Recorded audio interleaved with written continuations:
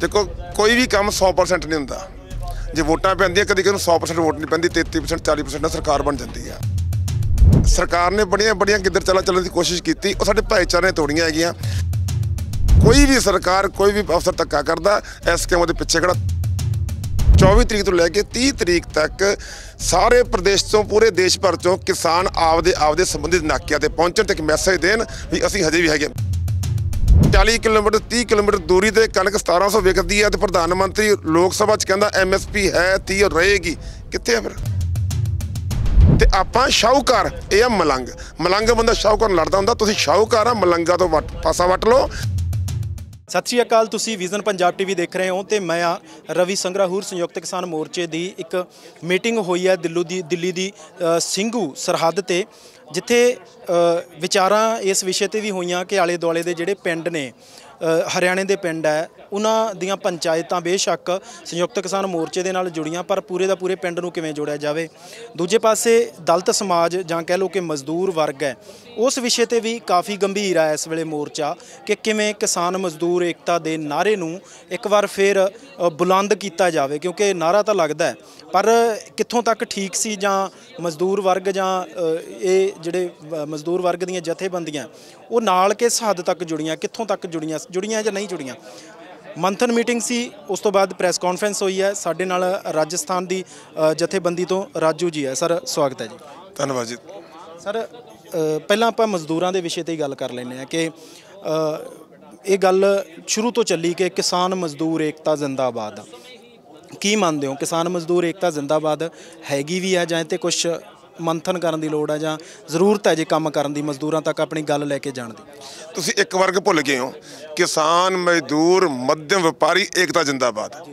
ਦੇਖੋ, ਕੋਈ ਵੀ ਕੰਮ 100% ਨਹੀਂ ਹੁੰਦਾ। ਜੇ ਵੋਟਾਂ ਪੈਂਦੀਆਂ, ਕਦੀ ਕਦੀ 100% ਵੋਟ ਨਹੀਂ ਪੈਂਦੀ 33% 40% ਨਾਲ ਸਰਕਾਰ ਬਣ ਜਾਂਦੀ ਆ। ਗੱਲ ਇਹ ਵੀ ਐਸਕੇਐਮ ਦੇ ਹੋਣ ਚ ਆਉਣ ਤੋਂ ਬਾਅਦ ਇਸ ਅੰਦੋਲਨ ਖੜਾ ਹੋਣ ਤੋਂ ਬਾਅਦ ਕੀ ਭਾਈਚਾਰਾ ਵਧਿਆ ਕਿ ਘਟਿਆ? ਸਾਡੀ ਸ਼ਰੀਕੇਬਾਜ਼ੀ ਘਟੀ ਆ। ਸਾਡਾ ਭਾਈਚਾਰਾ ਬਹੁਤ ਵਧਿਆ। ਉਹਦੇ ਬਹੁਤ ਸਾਰੇ ਐਗਜ਼ਾਮਪਲ ਹੈ ਸਰਕਾਰ ਨੇ ਬੜੀਆਂ ਬੜੀਆਂ ਕਿੱਧਰ ਚਲਾ ਚੱਲਣ ਦੀ ਕੋਸ਼ਿਸ਼ ਕੀਤੀ। ਉਹ ਸਾਡੇ ਭਾਈਚਾਰੇ ਨੇ ਤੋੜੀਆਂ ਹੈਗੀਆਂ। ਇਹ ਪਹਿਲੀ ਵਾਰੀ ਤੁਸੀਂ ਵੇਖਿਆ ਹੋਊਗਾ ਵੀ ਕਿਸਾਨਾਂ ਦਾ ਸੰਮੇਲਨ ਹੋਵੇ ਤੇ ਚੰਦਰ ਸ਼ੇਖਰ ਆ ਕੇ ਰਾਵਣ ਬੋਲੇ। ਦਲਿਤ ਸੰਮੇਲਨ ਹੋਵੇ, ਉਹ ਚੱਲ ਕੇ ਆਉਣ ਤੇ ਕਹਿਣ, ਰਾਜੇਵਾਲ ਜੀ, ਤੁਸੀਂ ਆਓ ਚਟੋਣੀ ਸਾਹਿਬ ਤੁਸੀਂ ਆਓ। ਇਹਦੇ ਨਾਲ ਭਾਈਚਾਰਾ ਵਧੀਆ, ਮਜ਼ਬੂਤੀ ਵਧੀਆ ਨਿਸ਼ਚਿਤ ਵਧੀਆ ਜੀ। ਮੀਟਿੰਗ ਵੀ ਹੋਈ ਹੈ ਔਰ ਪ੍ਰੈਸ ਕਾਨਫਰੰਸ ਵੀ ਹੋਈ ਹੈ। ਉਹ ਵਿਸ਼ੇ ਸਮਝਾ ਦਿਓ ਇੱਕ ਵਾਰ ਵੀ ਕਿਹੜੇ ਕਿਹੜੇ ਤੇ ਹੋਈ ਸੀਗੀ, ਕਿਉਂਕਿ ਲੋਕ ਸੌਖੇ ਸ਼ਬਦਾਂ ਦੇ ਵਿੱਚ ਸਮਝਣਾ ਚਾਹੁੰਦੇ ਨੇ ਕਿ ਮੋਰਚੇ ਨੇ ਹੁਣ ਅਗਲਾ ਕਦਮ ਕੀ ਚੁੱਕਿਆ? ਸਭ ਤੋਂ ਪਹਿਲਾਂ ਕੱਲ 10 ਅਪ੍ਰੈਲ ਨੂੰ ਕੇਐਮਪੀ ਜਾਮ ਹੈ 24 ਘੰਟਿਆਂ ਵਾਸਤੇ। ਕੱਲ ਸਵੇਰੇ 8 ਵਜੇ ਤੋਂ ਲੈ ਕੇ ਪਰਸੋਂ ਸਵੇਰੇ 8 ਵਜੇ ਤੱਕ ਜਾਮ ਰੱਖਿਆ ਜਾਊਗਾ। ਜ਼ਰੂਰੀ ਸੇਵਾਵਾਂ, ਐਂਬੂਲੈਂਸ ਹੈ, ਮੀਡੀਆ ਕੋਈ ਬਰਾਤ ਹੈ ਉਹਨਾਂ ਨੂੰ ਛੂਟ ਦਿੱਤੀ ਜਾਊਗੀ ਤੇ ਜਿੰਨੇ ਵੀ ਲੋਕ ਰੁਕਣਗੇ, ਉਹਨਾਂ ਨੂੰ ਘੱਟ ਤੋਂ ਘੱਟ ਤਕਲੀਫ ਹੋਵੇ, ਉਹਦੇ ਵਾਸਤੇ ਲੰਗਰ, ਪਾਣੀ ਦੀ ਸਾਰੀ ਵਿਵਸਥਾ ਕੀਤੀ ਜਾਊਗੀ ਤੇ ਹੱਥ ਜੋੜ ਕੇ ਬੇਨਤੀ ਕੀਤੀ ਜਾਊਗੀ। ਪਹਿਲਾਂ ਅਸੀਂ ਅਜੇ ਬੇਨਤੀ ਕਰਦੇ ਨੇ ਘੱਟੋ ਘੱਟ ਤੁਸੀਂ ਇੱਕ ਦਿਨ ਦਾ ਪ੍ਰੋਗਰਾਮ ਕੇਐਮਪੀ ਦਾ ਨਾ ਬਣਾਓ ਤਾਂ ਕਿ ਤੁਹਾਨੂੰ ਇਹ ਸੁਵਿਧਾ ਨਾ ਹੋਵੇ।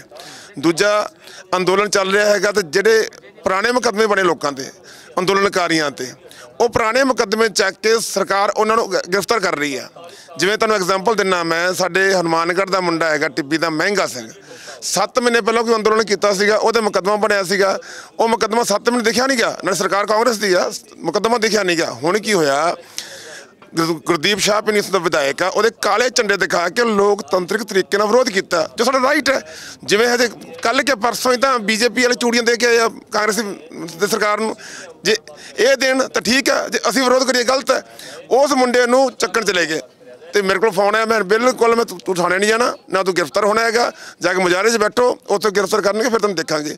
ਐਸਕੇਐਮ ਕਿਸੇ ਵੀ ਅੰਦੋਲਨਕਾਰੀ ਨਾਲ, ਆਮ ਜਾਂ ਖਾਸ ਨਾਲ, ਕੋਈ ਵੀ ਸਰਕਾਰ, ਕੋਈ ਵੀ ਅਫਸਰ ਧੱਕਾ ਕਰਦਾ ਐਸਕੇਐਮ ਉਹਦੇ ਪਿੱਛੇ ਖੜਾ, ਧਿਰ ਬਣੇ ਖੜਾ ਹੈਗਾ। ਉਸ ਤੋਂ ਅਗਲੀ ਗੱਲ, ਮਹੱਤਵਪੂਰਨ ਗੱਲ ਆ ਸੋਸ਼ਲ ਮੀਡੀਆ ਦਾ ਜ਼ਮਾਨਾ ਹੈਗਾ।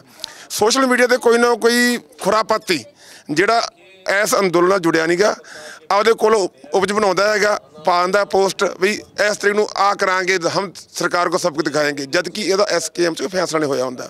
ਤੇ ਅਸੀਂ ਬੇਨਤੀ ਕਰਦੇ ਹਾਂ, ਜਿੰਨੇ ਵੀ ਕਿਸਾਨ, ਮਜ਼ਦੂਰ, ਆਮ ਤੇ ਖਾਸ ਬੰਦੇ ਹੈਗੇ ਆ, ਵੀ ਜਿਹੜੀ ਪ੍ਰੈਸ ਕਾਨਫਰੰਸ ਵਿੱਚ ਘੋਸ਼ਣਾ ਹੋਵੇ, ਅਧਿਕ੍ਰਿਤ ਸੰਯੁਕਤ ਸੰਯੁਕਤ ਕਿਸਾਨ ਮੋਰਚੇ ਮੋਰਚੇ ਦੇ ਲੀਡਰਾਂ ਵੱਲੋਂ ਉਸੇ ਤੇ ਗੌਰ ਕੀਤਾ ਜਾਵੇ, ਸੋਸ਼ਲ ਮੀਡੀਆ ਤੋਂ ਬਚੋ, ਉਹ ਕੀਤਾ ਕਰ ਰਹੇ ਹੈਗੇ ਆ। ਇਸੇ ਤਰਜ਼ ਤੇ ਉੱਤਰ ਪ੍ਰਦੇਸ਼, ਉੱਤਰਾਂਚਲ ਰਾਜਸਥਾਨ, ਬੰਗਾਲ ਚੁਣਾਵ ਲੜ ਰਹੇ ਆ ਚੁਣਾਵ ਚੱਲ ਰਿਹਾ ਹੈਗਾ। ਐਸਕੇਐਮ ਦੀ ਨੀਤੀ ਬਣੀ ਸੀਗੀ ਵੀ 3 ਮਹੀਨੇ ਬੈਠਣ ਤੋਂ ਬਾਵਜੂਦ ਵੀ ਸਰਕਾਰ ਨੇ ਆਪੇ ਨਾਲ ਗੱਲ ਕਰਨ ਦੀ ਕੋਸ਼ਿਸ਼ ਨਹੀਂ ਕੀਤੀ। ਜੇ ਗੱਲ ਕੀਤੀ ਆ ਤੇ ਇੱਕ ਨੋਟੰਕੀ ਪਰ ਕੀਤੀ ਆ। ਵਾਰ-ਵਾਰ ਜਿਹੜੀ ਗੱਲ ਤੇ ਇੱਕ ਮੀਟਿੰਗ ਪਰ ਡਿਸਕਸ ਹੋ ਗਈ ਅਗਲੇ ਵਾਰ ਉਹੀ ਕੀਤੀ ਆ ਤੇ ਅੱਗੋਂ ਹੀ ਕਹਿੰਦੇ ਸਾਡੇ ਕੋਲ 303 ਸੀਟਾਂ ਹੈਗੀਆਂ। ਹਮ ਗੁਜਰਾਤ ਜੀਤ ਗਏ। ਪੰਜਾਬ ਹਾਰ ਗਏ ਉਹ ਜ਼ਿਕਰ ਨਹੀਂ ਕੀਤਾ ਰਾਜਸਥਾਨ ਦਾ ਹਾਰ ਕੇ ਜ਼ਿਕਰ ਨਹੀਂ ਕੀਤਾ। ਪਰ ਜਿਹੜੇ ਇੱਕ ਸਟੇਟ ਜਿੱਤ ਜਾਂਦੇ ਆ, ਆਂਧਰ ਪ੍ਰਦੇਸ਼ ਹਾਰ ਕੇ ਜ਼ਿਕਰ ਨਹੀਂ ਕੀਤਾ। ਜਿਹੜੀ ਇੱਕ ਸਟੇਟ ਜਿੱਤ ਜਾਂਦੇ ਆ ਕਿਉਂਕਿ ਮੀਡੀਆ ਜਿਹੜਾ ਵੱਡਾ ਸਟ੍ਰੀਮ ਮੀਡੀਆ ਨਾ ਕੋਲ ਆ। ਤੇ ਉਸ ਤੋਂ ਬਾਅਦ ਇਹਨੂੰ ਵੋਟ ਦਾ ਸਬਕ ਸਿਖਾਉਣਾ ਚਾਹੀਦਾ। ਵੈਸੇ ਲੋਕਤੰਤਰ ਦੇਸ਼ ਰਹਿਣੇ ਹੈਗੇ ਆ। ਤੇ ਇਹ ਵੀ ਇੱਕ ਪਾਰਟ ਆਫ ਅੰਦੋਲਨ ਆ। ਅਸੀਂ ਆਖਿਆ ਵੀ ਬੀਜੇਪੀ ਨੂੰ ਪਨਿਸ਼ ਕਰੋ। Defeat BJP punish BJP.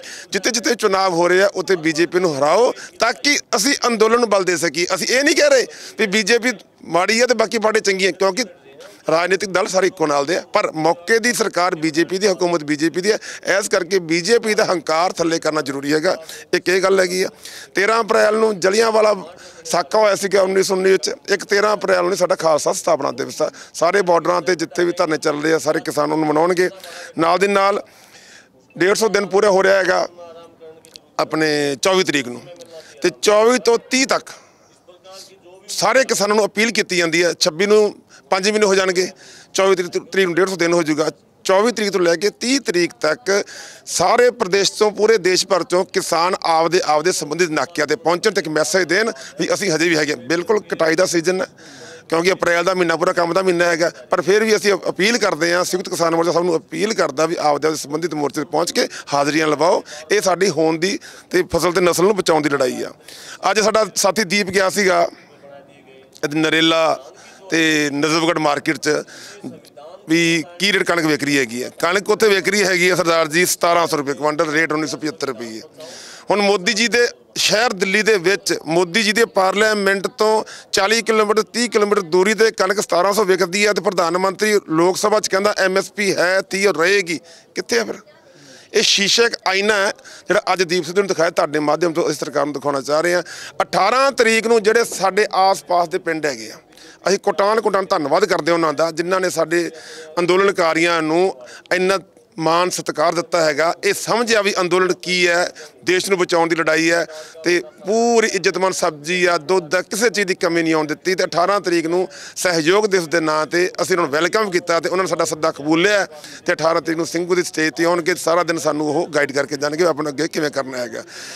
ਸਾਡਾ ਭਾਈਚਾਰਾ ਵਧਿਆ। 20 ਤਰੀਕ ਨੂੰ ਜਯੰਤੀ ਹੈਗੀ ਹੈ ਜੀ ਧੰਨਾ ਜੀ ਭਗਤ ਦੀ। ਧੰਨਾ ਜੀ ਭਗਤ ਗੁਰੂ ਗ੍ਰੰਥ ਸਾਹਿਬ ਜੀ ਵਿਰਾਜਮਾਨ ਆ, ਸਭ ਦੇ ਸਨਮਾਨਿਤ ਮਹਾਂਪੁਰਸ਼ ਆ ਸਾਡੇ ਇੱਕ ਬੜੇ ਵਧੀਆ ਲੀਡਰ ਸੀਗੇ ਉਹ। ਕੋਟਾ 'ਚ ਧੂਆਂ ਕਲਾਂ ਪਿੰਡ ਆ ਟੌਂਗ ਜਿਹੜੇ ਧੂਆਂ ਕਲਾਂ ਪਿੰਡ ਆ 17 ਤਰੀਕ ਨੂੰ ਧੂਆਂ ਕਲਾਂ ਪਿੰਡ ਤੋਂ ਅਸੀਂ ਜਾ ਕੇ ਰਾਤ ਉੱਤੇ ਵਿਸ਼ਰਾਮ ਕਰਕੇ 18 ਤਰੀਕ ਨੂੰ ਧੂਆਂ ਕਲਾਂ ਪਿੰਡ ਤੋਂ ਧੰਨਾ ਭਗਤ ਦੇ ਜਨਮ ਸਥਲ ਦੀ ਮਿੱਟੀ ਲੈ ਕੇ ਆਵਾਂਗੇ। ਮਿੱਟੀ ਲਿਆ ਕੇ ਰਾਜਸਥਾਨ, ਹਰਿਆਣੇ 'ਚ ਹੁੰਦੇ ਹੋਏ 20 ਤਰੀਕ ਨੂੰ ਟਿਕਰੀ ਤੇ ਪਹੁੰਚਾਂਗੇ ਕਾਰਜਕ੍ਰਮ ਕਰਕੇ।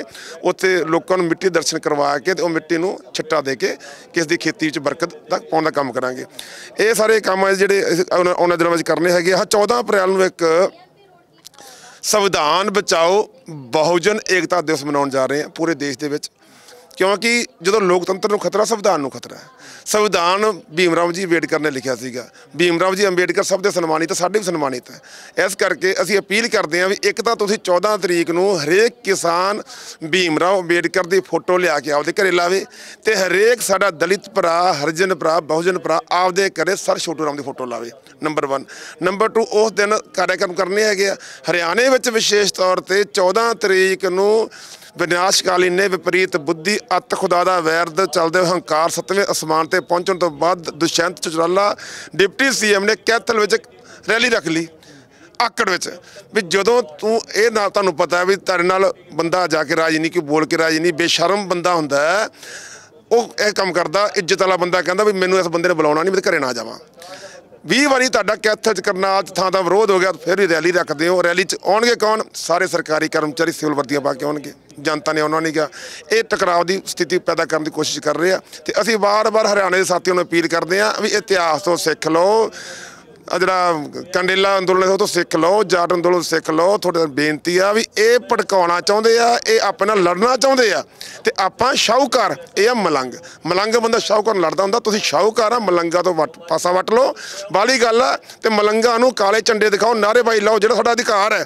ਪਰ ਇਹਨਾਂ ਹੱਥਾਂ ਪਾਈ ਨਹੀਂ ਹੋਣੀ, ਮਲੰਗ ਨਾਲ ਹੱਥਾਂ ਪਾਈ ਹੋ ਕੇ ਅਸੀਂ ਆਪ ਗੰਦ 'ਚ ਇੱਟ ਮਾਰਾਂਗੇ, ਛਿੱਟੇ ਸਾਡੇ ਤੇ ਪੈਣਗੇ, ਅਸੀਂ ਇਹਦੇ ਛਿੱਟੇ ਨਾ ਪਵਾਈਏ ਆਪਦੇ ਸਿਰ ਤੇ। ਆ ਗੱਲਾਂ ਬਾਤਾਂ ਜੀ। ਹਰਿਆਣਾ ਹਰਿਆਣਾ ਦੇ ਵਿੱਚ ਮੁੱਖ ਮੰਤਰੀ ਮਨੋਹਰ ਲਾਲ ਖੱਟਰ ਹੋਰਾਂ ਦਾ ਵੀ ਵਿਰੋਧ ਹੁੰਦਾ ਹੈ। ਦੁਸ਼ਯੰਤ ਚੌਟਾਲਾ ਦਾ ਇਦੋਂ ਪਹਿਲਾਂ ਵੀ ਵਿਰੋਧ ਹੋ ਚੁੱਕਿਆ। ਹੁਣ ਤੁਸੀਂ ਦੱਸਿਆ ਕਿ ਉਹਨਾਂ ਨੇ ਇੱਕ ਵਾਰ ਫੇਰ ਕੈਥਲ ਦੇ ਵਿੱਚ ਰੈਲੀ ਰੱਖ ਲਈ ਹੈ। ਸੰਯੁਕਤ ਕਿਸਾਨ ਮੋਰਚੇ ਦਾ ਸਟੈਂਡ ਕੀ ਆ ਇਦੋਂ ਪਹਿਲਾਂ ਜਿਹੜੇ ਵਿਰੋਧ ਹੋਇਆ ਕਿ ਸੰਯੁਕਤ ਕਿਸਾਨ ਮੋਰਚਾ ਉਹਨਾਂ ਦਾ ਸਮਰਥਨ ਕਰਦਾ ਜਾਂ ਫਿਰ ਹੁਣ ਵੀ ਸੰਯੁਕਤ ਕਿਸਾਨ ਮੋਰਚਾ ਇਹ ਸਟੈਂਡ ਲੈਂਦਾ ਹੈ ਕਿ ਹਾਂ, ਦੁਸ਼ਯੰਤ ਚੌਟਾਲਾ ਨੇ ਜੇਕਰ ਆਕੜ ਦੇ ਵਿੱਚ ਜਿਵੇਂ ਤੁਹਾਡੇ ਵੀ ਸ਼ਬਦ ਹੈਗੇ ਆ ਕਿ ਆਕੜ ਦੇ ਵਿੱਚ ਉਹਨੇ ਇਹ ਆਪਣੀ ਰੈਲੀ ਰੱਖੀ ਹੋਈ ਆ, ਵਿਰੋਧ ਕਰੋਗੇ?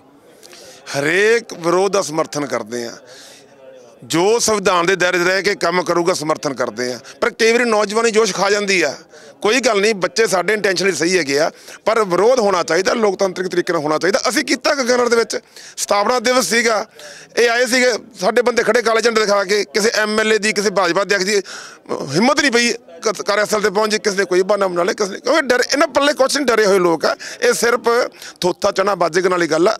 ਸਾਡਾ ਤਾਂ ਲਲਕਾਰਾ ਹੀ ਬਹੁਤ ਆ।